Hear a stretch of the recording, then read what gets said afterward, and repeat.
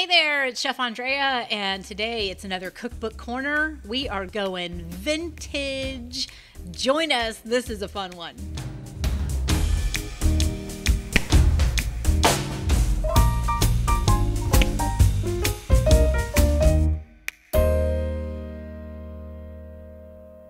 Hey guys, welcome to another Cookbook Corner with Chef Andrea. In the Cookbook Corner, I just share with you cookbooks from my crazy big cookbook collection. Um, I think I've told you in the past, it's in the 400 range, something like that. Believe it or not, that's curated. That's like pared down from what it once was.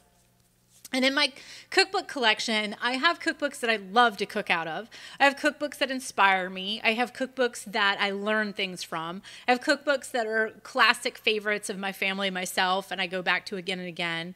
And then every once in a while, I have just some wacky gem that is just here because it's so much fun. And this is a perfect example of that. I don't know that this is a cookbook that I'm recommending necessarily, um, but I think it's a fun one to talk about. So here's what I have. This will be very familiar to some of you. And this will be complete mystery to some of you. Um, I found this bad boy. Check this out. You remember this guy? Boo, boo, boo, boo, boo. Some of you are like having serious 70s flashbacks right now. Um, this collection is by Betty Crocker, and it is complete. It has every thing that it was originally produced with. The copyright for most of these is 1973. So this particular collection, I'm guessing, and it is the Betty Crocker recipe card library. Do you guys remember these? I remember um, Anna. If you're watching this, your mom had one of these in her kitchen. My mom did not have this that I recall, but um, I remember going to Anna's house and just hanging out at the kitchen room table and eating you know, cereal for breakfast or something and just flipping through the recipe cards from that collection. So um, here we go. Uh, here's what is in this box. First of all, I found this at a vintage, vintage shop here in St. Augustine a good few years ago. I've had a lot of these, like Better Homes and Gardens, like vintagey style books. Um, whenever I spot them, at tag sales and junk shops and stuff like that, I always grab them because they actually have a lot of good recipes in them. But sometimes I grab them because they are hilarious. So I have a lot of friends to talk about in this episode. I'll try to keep it quick. But my friend Amy and I um, went junking one afternoon and came across a couple of this style cookbook. And I mean, we just lost our minds. We hung out in that store looking at these wonky vintage recipes, laughing, laughing, laughing. This has been I mean, that was probably eight years ago, 10 years ago, something like that. It was one of the most fun afternoons ever. Um, we had an absolute blast. And um, I've always collected vintage books in part because I'm a cookbook collector and I just think they're fun. I think the illustrations are interesting, the photographs are interesting, the recipes are crazy. But these have a tendency to be a little on the scary side too. I'm going to warn you. Okay, so what happens in the recipe box is that you get a title card for each section so seasonal favorites is one of the first ones. And you can already see the very vintage photographs that are available here. I don't know why I'm laughing. I mean, I don't know that anything's all that funny, but it just tickles me. These photographs just crack me up. So we have season seasonal favorites. Let's put some glasses on so I don't strain myself too badly.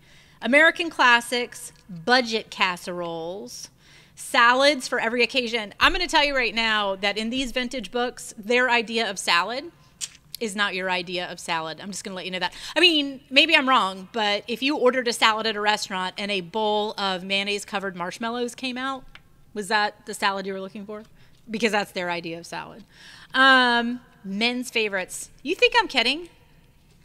That is a title card. There is an absolute section called men's favorites. oh man, I gotta quit laughing. Hold, now I gotta find my place. There we go. Men's favorites children's parties, entertaining on a shoestring, dessert spectaculars. Here's another thing I'll tell you about these um, vintage cookbooks is watch out for words like celebration, jubilee, spectacular, because things start getting real, real weird when they throw that word in there. I'm just going to tell you that. Like uh, surprise, watch it because it may not be as surprising as it is horrific, um, unless like hot dogs and pineapple are your thing. Comfort coffee. Hmm. Recipes for calorie counters. That's going to be interesting. Their their concept of diet compare, in 1973. Um, gifts from your kitchen. International favorites. Fondues. Look at the card for fondues. Okay, I actually dig a fondue. I really do. Do you ever make fondue? I do fondue now and then. I mean, a good cheese fondue. How can you beat that? But we even do that weird oil fondue where you fry your stuff. I know, we're weird. Um, snacks around the clock, family desserts, crowd size entertaining, outdoor entertaining. Hurry up main dishes. That sounds terrifying. Um, impromptu party fare. You know, there's cans of wieners and stuff in that one. Uh, family breakfast brighteners. See, you got to watch out for that. As I'm telling you, brighteners. Uh, that might be scary. Foods that go places, gala menus. So these are menus based on cards that are in here um, and other like Better Homes and Betty Crocker books. So they're just putting together menus for you. Recipes children can make. One of the recipes in here, I'm not making this up, is called butter sticks. Your kids can eat a stick of butter. Um, and then family favorites. Okay. So let's take a look at a few of these. The photographs alone are just absolutely hilarious. I hope that if you are a knitter, you are knitting. If you are a coffee or tea drinker, you are coffee or tea drinking. I'm having an English breakfast tea. I don't have any coffee here.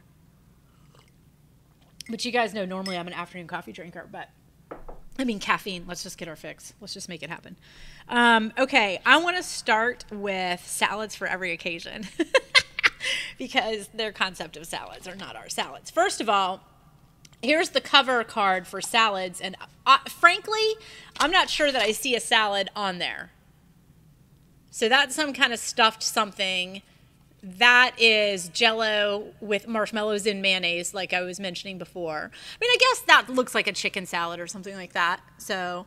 And then this is an aspic mold of green jello and it's in butter lettuce leaves and it's garnished with radishes. I mean do you do you hate the people you're feeding that to? What is for lunch today? Lime jello and radishes. I mean, that sounds like food you'd give to somebody you're mad at all right, let's see what the salads are. Let's try it. Okay. We know there's going to be creamy salads, but yeah. That's probably canned fruit. So let's see. Yeah, it's a can of fruit cocktail drained, two bananas. Okay, mayonnaise coated bananas. Whew. That is something. I, we need to move past that quickly. Um, an apple, so at least that's real. Green grapes, that's real. A jar of maraschino cherries. Marshmallows. Oh, and it's whipped cream. so fruit completely submerged with marshmallows and whipped cream. That's salad. Sounds great. Um, let's see what else is in here peachy year round salads. Festival peach salad. So cream, cottage cheese, almonds, cherries, and canned peach halves.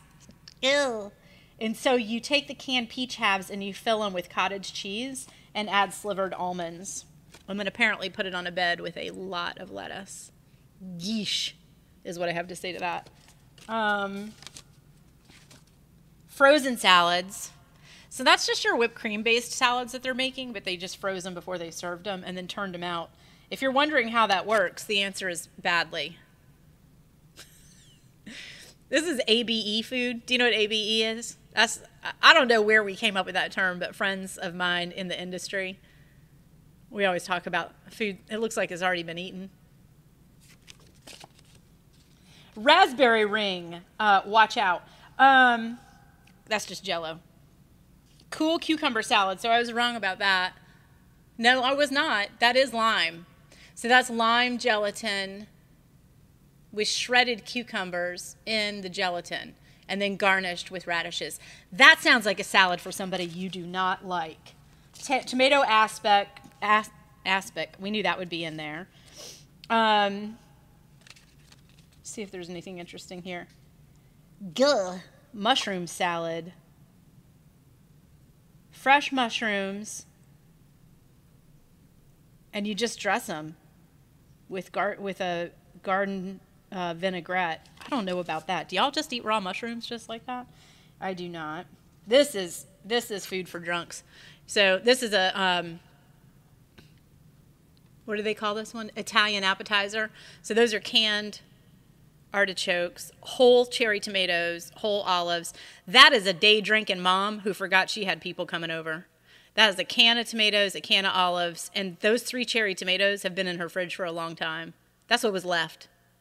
Day drink mom has party at five that she forgot about. Book club, it was at her house and she forgot. Um, they got a classic Caesar, Caesar salad, taco salad. I could live with some of that. Uh, but more the um, mayonnaise and marshmallow based ones are just really terrifying. But every once in a while, you'll see something that's a surprise, and boy, watch it for that. Okay, I think we all agree that we need to find out what is in budget casseroles. That scares me. Let's take a quick look at men's favorites, just out of curiosity. What do the men love? So, men's favorites starts with a roast beef hoagie. Aw, and look, it's in his briefcase. So she packed him a hoagie with a dill pickle and put some carrot sticks in his briefcase. Cream soups, cold and hot. That is not food my man loves. First of all, Michael does not consider soup a meal. Um, I love to go to um, pho restaurants and get big bowls of pho with rice noodles and broth, and I always add shrimp and beef and stuff to mine. And so I always I have a good friend that goes with me to those. My friend Zan, he and I go up there, and I always invite my husband Michael. You want to go? Zan and I are going to go get pho, and he says, "Hmm, do I want a bowl of hot mint water for dinner?" No, that's how he feels about soups. Um, okay, cream soups, cold and hot. No, man pleasing appetizers. This one flipped my lid. This might be why I bought this this collection. Okay, so a man pleasing appetizer. These are cups of some sort of brown liquid with the center part of celery sticking out of them. The first recipe is called Pow, and it's two cans of condensed beef broth, a cup of water, horseradish, and dillweed. Heat everything to simmer. Serve hot with celery swizzle sticks. See, the thing about Pow, so that's a cup of canned bouillon and a celery stick the thing about these books, and I'm not trying to be real judgmental here, but I feel like alcohol plays a big role in, in, in the day to day lives of folks in 1973.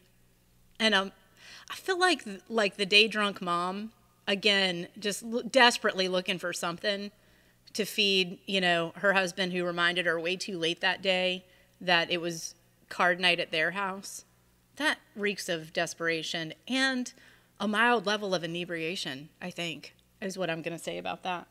Um, bouillabaisse, chicken fricassee. These don't feel super man friendly to me. Pot roast with sour cream gravy. Okay, Michael would go for that. Italian spaghetti with meat sauce. Sure. Savory duckling on a spit. Yeah, I guess. I, are you going to do that? I don't have a spit, do you? Um, peanutty pork chops. That's kind of interesting, kind of Thai style pork chops, I guess. So, it, okay, fresh tomato specials. See, this is that desperate mom thing again. Um, men's favorites. if I fed Michael three slices of tomato on wilted lettuce leaves, what is that garnished with? It is garnished with minced green onion and snipped parsley. Uh uh-uh. uh That ain't dinner. I mean, uh, you know, that's just not how it works. Um, burgundy beef, that's probably pretty good. Beef stroganoff, that's still a winner even today, isn't it? Chef Greg um, here does a beef stroganoff in cast iron. You don't even have to pre-boil the noodles. It's fabulous. So, okay, I can live with some of these. Hot German potato salad. Yeah, yeah, yep. I can accept some of that. I'll take some of that. Men's favorites. Okay. Um, I was definitely curious about um, entertaining on a shoestring because, like, if three slices of tomato counts as a dinner, what happens when we're on a budget? So, cheeseburger pie, that's one thing that happens. Gill. Ground beef in a pie crust. It'll feed a lot of people, is what that's about, I bet, for very little. Um, okay, this is interesting to me. So, this is curried fish in a rice ring. Okay, so first of all, this is one of the problems with vintage recipes. That does not look good. However, I have to say that I am always so intrigued by how many curry recipes show up in these vintage cookbooks from like 1950, etc.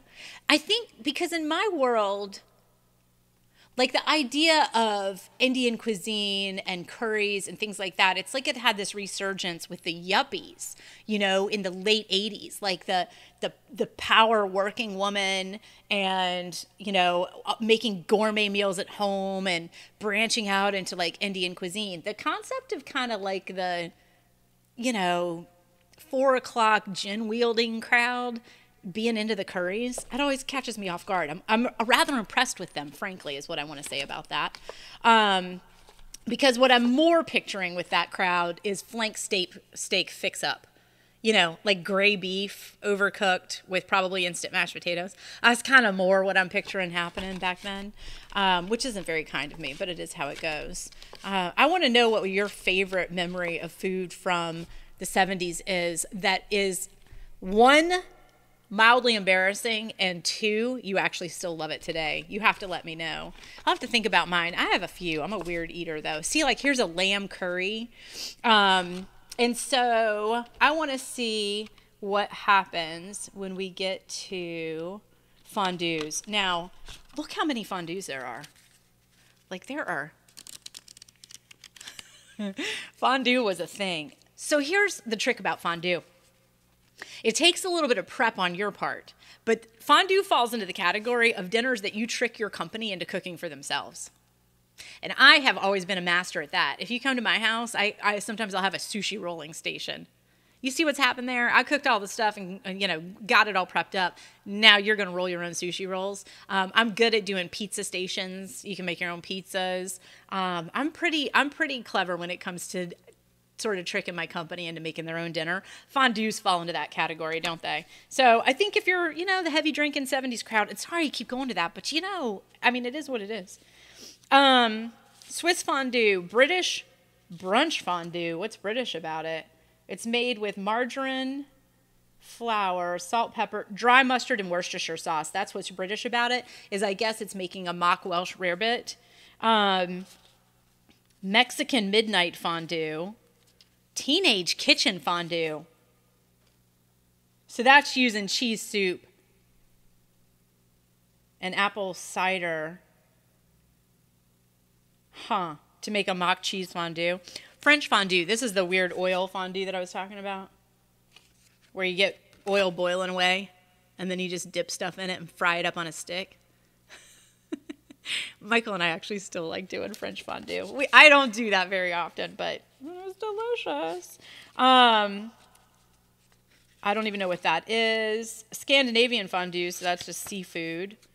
Fondue Party USA, ham cubes. Hawaiian fondue. That's just using pork and spam and doing that in oil. Mini meatballs, I can live with that. Um, they made little corn dogs. I can live with that. Uh, oh, empanadas. What's an interesting idea? Is you make all the little dumplings, see them around the pot, and then you let people fry their little empanadas themselves. Eh, that's not bad. And one thing is, at least they'd still be crispy. You know, that's a problem with doing fried appetizers, is they're soggy by the time everybody eats them. And then the, I guess the rest of this is really just dips and things like that. But fondues, I have to say, I like a fondue. Look at this photo. So this is for snacks around the clock, which sounds like the way I like to eat. Look at that photo.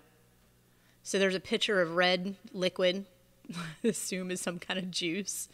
Um, there's some sort of Swiss cheese, and there's cupcakes. You know, not bad. It's got a little still life action with the shiny apples and the plastic grapes. You remember plastic fruit? I do too. I tried to eat one one time. Um, this has some coffee cakes. I bet those are actually pretty good chocolate cookies, cereal bars. I'm sorry. That's good eats. I love a cereal bar. You love a cereal bar? I will make a cereal bar even today. That never goes out of style. Um, so yeah, this was mostly just cookies and things like that. Loaf sandwiches, uh, banana bites. Nothing too bad in there. I always worry about anything with gelatin in it from back then, but I don't see see see too much of that in there. Um, and then of course soups. Boy, they were big on the soups. Look, if that isn't a 1970s soup, green goo and a tomato spilling out with mayonnaise based something. Ugh. Ugh. That's all right. Um, snacks around the clock. I like it. Let's see what happens with ooh outdoor entertaining. I bet you this is pretty scary. So one thing I do love about 70s food is that their grilling always shows you raw beef again, I always hearken that to a vodka intake situation. You know what I mean? You get home, have your first martini, get the grill fired up, have your second martini. By the time it's time to eat, you're like, look, it's charred. Let's have a third martini and call that bad boy done. And the meats always look absolutely cold inside to me. Um, see what I mean? Here's another flank steak barbecue. Do you see the? I like a nice pink steak, but y'all, that's not cooked. Steak kebabs, not too bad. Um, I remember classic burgers on the grill back in the 70s too, and I still love. Let me tell you two things I love my charcoal grill, and I always use a couple of um, matchlight briquettes. Not because I need them necessarily to start the charcoal. I can do the charcoal in a char- in a chimney, in a starter chimney. I love the smell of lighter fluid. So I buy those lighter fluid soaked briquettes and throw a couple in there solely for ambiance. That's the only reason they're there. I light them up and I can smell lighter fluid in my yard, and then I know it is a cookout. You know, that's just one of those things. One of those childhood things, lighter fluid. This to me is 70s in a nutshell. Ham steaks on the grill and a cold grill at that. They didn't even get very good marks on it. Uh, reeks of a little bit of a buzzed dinner. Um, spunky shoulder slices. Watch out for words like that. Let's see what's spunky about these. So the first thing that's spunky is that it's got molasses and brandy and dry mustard and ginger uh, and orange juice. So that is a lot of stuff going on there. But what is the meat? So this is smoked boneless pork shoulder butt. Do you ever buy smoked shoulder butt just ready to go? I don't know. Spunky. All right. I have to be honest with you. This looks like a fantastic idea. Fun with Franks. These are bacon wrapped Franks that have slices of cheese tucked under them or in them. They're split and it's in them. Check that out. All right, I would eat that off a barbecue. I like hot dogs. So they've just split. See? Down here. Can you see they cut that hot dog open and set the cheese in it and then wrapped it with bacon and grilled it up? All right, that actually looks good. Chicken in foil. I where's the chicken? Chicken in foil. I don't know what's happening in this picture, but I'll stick with the corn, mom. Thank you. Um, Mexican chicken legs. Do you remember those like whole drummies that they'd try to do on the grill? They take forever. They were never really done. I remember those too. Um, some undercooked pork there. Shrimp and foil packs. That would work okay. I'm down with that. I don't know what these are. Ways with eggplant. I couldn't even tell what it was. Boy, that's a 70s picture for you. That's like a brain teaser. In the front are some sausages. The eggplant's behind. It's that purple ring with a ring of raw onion and a broiled tomato. Whew, that'll make you not like eggplant, as if you needed another reason. Party potatoes. I'm down with a parboiled and then grilled potato. I can live with that. All right. And then I always love this. This is so 70s to me. Clean out a pineapple shell and put pineapple back in it. I don't know. What, Trader Vic's or something, right? Isn't that what it brings to mind? Something fun like that. Um, but pineapple, man, that was a big deal in that time frame. I don't remember ever eating pineapple as a kid, though. Uh, let's look at impromptu party fare. So we all know what that is.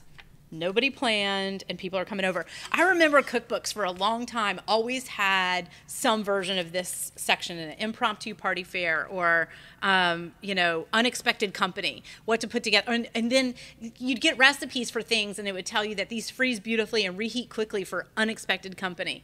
Y'all know that is a thing of the past, isn't it? I mean somebody's knocking on your door and you're just sitting there, right? You are not turning off Netflix. You didn't invite them over, you're not opening the door. Unexpected company is a thing of the past. You won't even answer your phone, right? Text somebody, hey, we on for tomorrow, and then they call you right back. Can you imagine if they showed up at your house and also expected broiled tomatoes on weird toast? Broiled grilled sandwiches? Impromptu party fare. Oh, no. Impromptu party fare. Well, you know what? If you don't like unexpected company, if you serve this, that problem will be solved. Chicken livers with scrambled eggs. So this gal has sauteed up chicken livers and topped them with canned mushrooms and served them next to room temperature scrambled eggs. Bye. That'll resolve that problem. Uh, never going to Marge's again. Um, chipped beef in popovers. I don't hate that idea. I don't know if I'd serve it to company, but she made popovers and somehow filmed them with cream chip beef. Oh, you know what she did? She made her popovers, tore them open, and then poured that cream chip beef sauce over them. That is not the worst idea I've ever heard. So you got to be so wor- careful about how you word foods too. Crusty salmon shortcakes. I don't know about a salmon shortcake. So that is salmon. They've made Bisquick biscuits. They've cooked salmon in condensed cream of mushroom soup with half a cup of milk and ladled it over the biscuits. Ugh.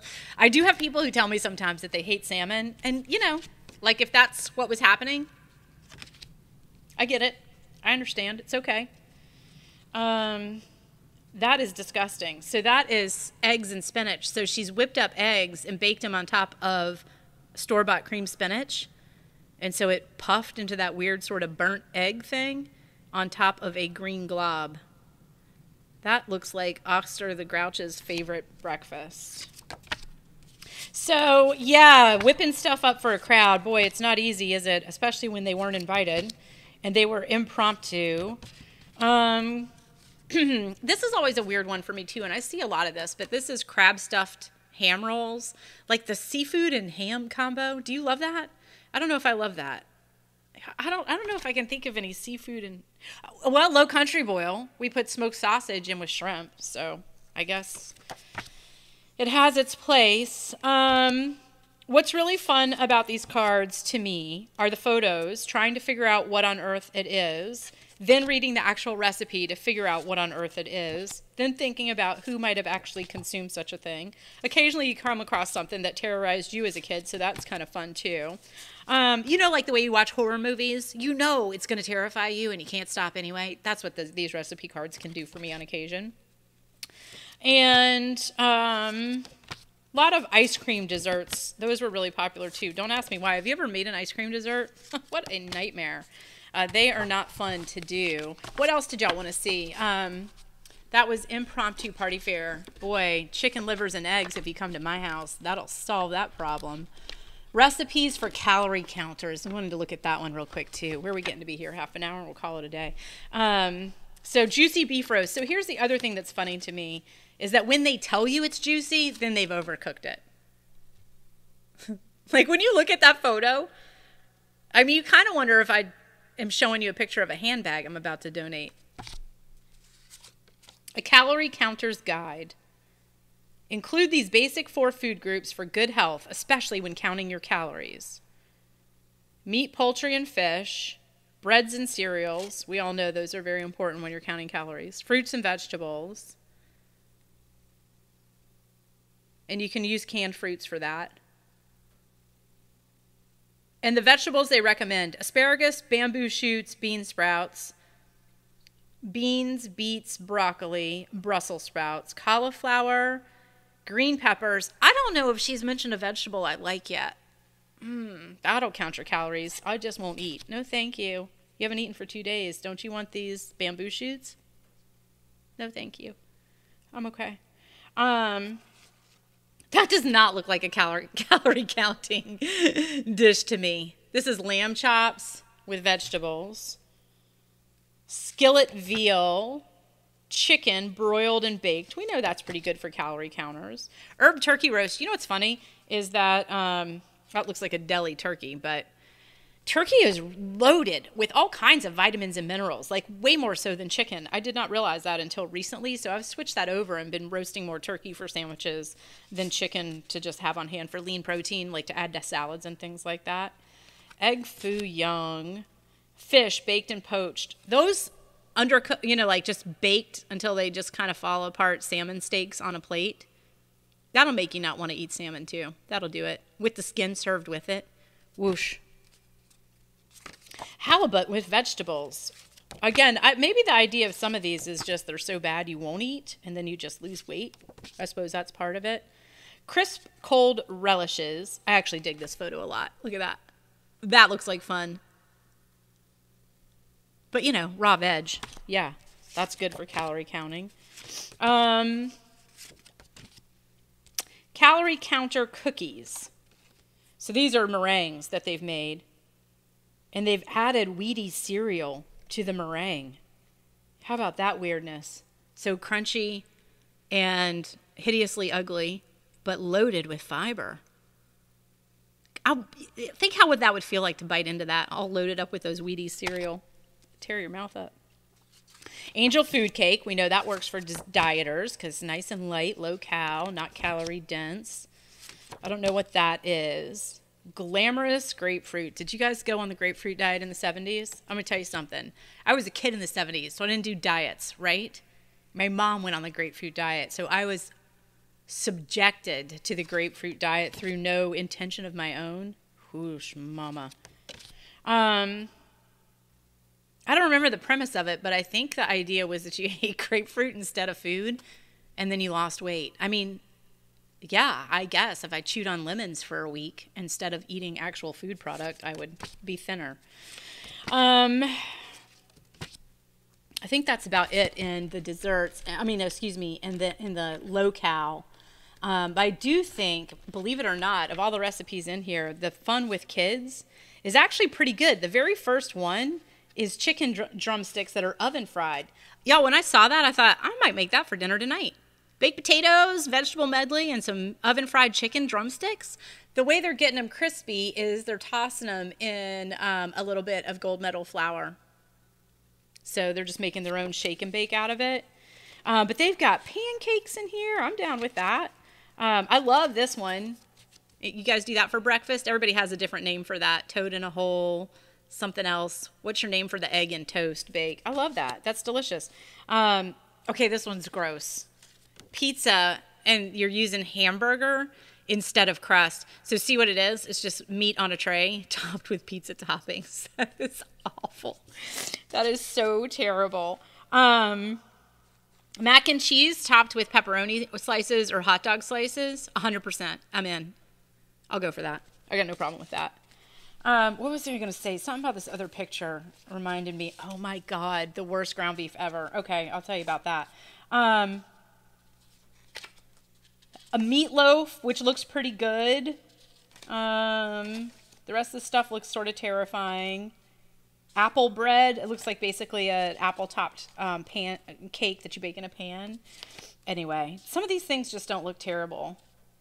That's a nice. Look at that hot dog and toast. If you don't have a bun, you just wrap it up in white bread and put cheese on it to glue it together.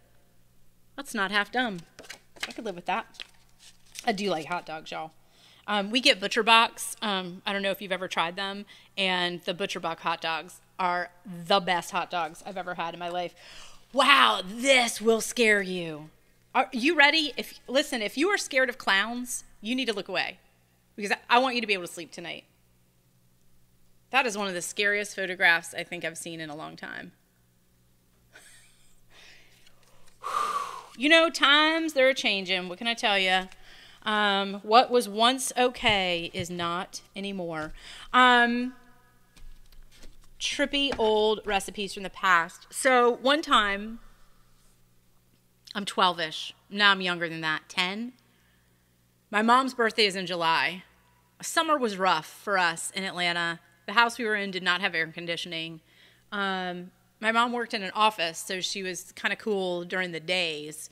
And I went off to a summer camp. When I was 10, the camp that I went to was daycare. It wasn't really camp. And it was somebody's house. And when it was over 90, she would let us stay inside and play games. But if it was 85 to 90, we were just in the yard the whole day. It was a hot time in my life, is what I'm here to tell you. And I preface that before I tell you what I did with this ground beef because I think that the heat might have been affecting my cognitive ability at that time in my life um, because I was making a lot of weird choices for a 10 year old. And so my mom's birthday is in late July and the heat is in, and this is boiled, and I'm just not thinking very clearly. And I want to do something for her birthday. And what does everybody tell a kid to do for their parents' birthday? Why don't you make her something? And I'm like, well, that's all well and good, but one, you would need to know how to make things, and I don't. And two, I have a boiled brain, so I can't even think of how to make something. Um, what would I make? And so I went to the fridge. Her, it was her birthday. I don't know why, but I was home for a few hours without her. And I went to the refrigerator and she had just bought two pounds of ground beef. And so I took out the ground beef and I used my hands to mold it on a sheet tray. So it said, Happy birthday. And I ran out of meat. So I think I just put M or J. M for mom or J for Joan. I might have started with M thinking I was going to spell out mom, but I was out of ground beef. So, and then I was like, happy birthday, M. She's not going to know what that is. So, smooshed it back up and shaped it into a J. And then put it in the oven. What temperature? No idea. How long?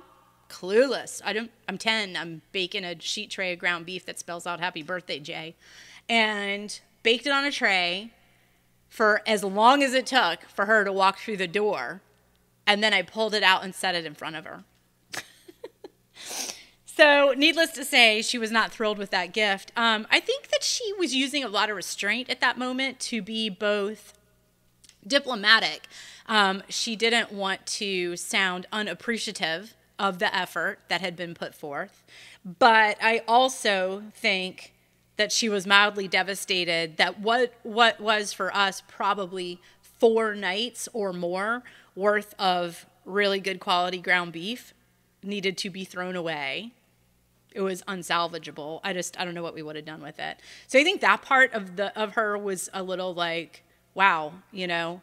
Um, but when i gave it to her i wasn't unclear that um, it wasn't uh, remarkable birthday gift, is what I would say. Um, I do know that she said that while that looked lovely and she knew the effort had been put into it, she also said that she'd been craving Mexican all day and suggested we went out to eat.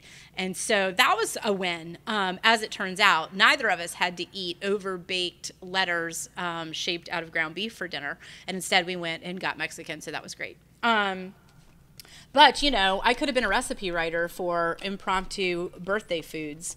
Um, you know, just spell out your friend's name in eggs and livers, and you'll be good to go.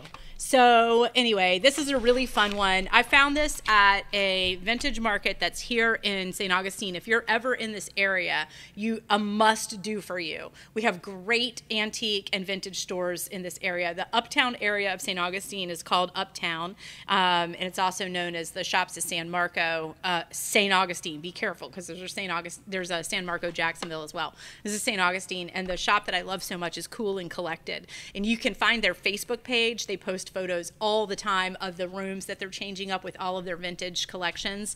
There are so many cool finds in there, and a lot of cool things in my house came from Cool and Collected. And I just love going in there and just seeing what they have. And they have a whole room devoted to kitchen pots, pans, Pyrex. This guy came from there. So many neat things. So if you're ever in this area, 100% check out Cool and Collected. You could hop on their Facebook page and check them out now. So, um, Cookbook Corner, surprise! Don't um, ever go with 1973 as your go to spot for really good foods, but um, it is fun to look at these old vintage things. And I, like I said, it's so funny. Sometimes things sound really delicious, a lot of them do not. Um, but put a comment below. Tell me one of your um, favorites from the 70s that either, like I said, you still are sneaky and you still eat today. You don't want anybody to know it, but like my oil fondue, we still do that.